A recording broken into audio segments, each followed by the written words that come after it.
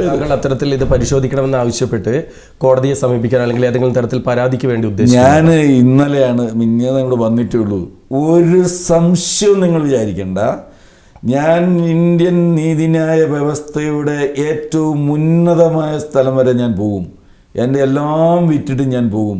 ഇത് ഈ ഗൂഢാലോചന നടത്തിയ പോലീസ് ഉദ്യോഗസ്ഥൻ circle Ananthakrishnan S I Manoj അടക്കം ഈ സമരസമിതി നേതാക്കൾ ചില പഞ്ചായത്ത് അംഗങ്ങൾ അടക്കമുള്ള ആളുകൾ ഇതിനകത്ത് നടത്തിയ ഗൂഢാലോചന. അത് ഒരു ഉന്നതതല അന്വേഷണം നടത്തും നടത്തണമെന്ന് ആവശ്യപ്പെട്ടുകൊണ്ട് ഞാൻ അങ്ങേയറ്റം വരെ പോകും. ഞാൻ ഏറ്റവും അടുത്ത ദിവസം ഞാൻ ബന്ധപ്പെട്ട ആൾക്ക് പരാതി കൊടുക്കും. എനിക്കതിന് റിസൾട്ട് ഉണ്ടായില്ലെങ്കിൽ നീതിന്യായ വ്യവസ്ഥയെ ഞാൻ ആശ്രയിക്കും. അവസാനം വരെ സത്യം തെളിയിക്കാൻ ഞാൻ പോരാടും. കാരണം എന്റെ നാൽപ്പത്തഞ്ച് വർഷക്കാലത്തെ എന്റെ രാഷ്ട്രീയ ജീവിതം ആണ് എന്നെ അപമാനിക്കുകയാണ് ചെയ്തത്. കർഷകന് വേണ്ടി ഞാൻ നടത്തിയ പോരാട്ടങ്ങൾ എന്നും കർഷകർക്ക് വേണ്ടി നടന്ന് ആ ഞാൻ കർഷക വിരുദ്ധനാണെന്ന് പോലും വരുത്തി തീർക്കാനുള്ള ശ്രമം നടന്നിട്ടുണ്ട്.